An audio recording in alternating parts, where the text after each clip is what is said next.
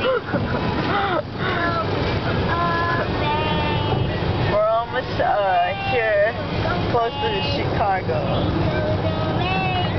And Raiden's trying to stop the rain. it's freestyling. Freestyling.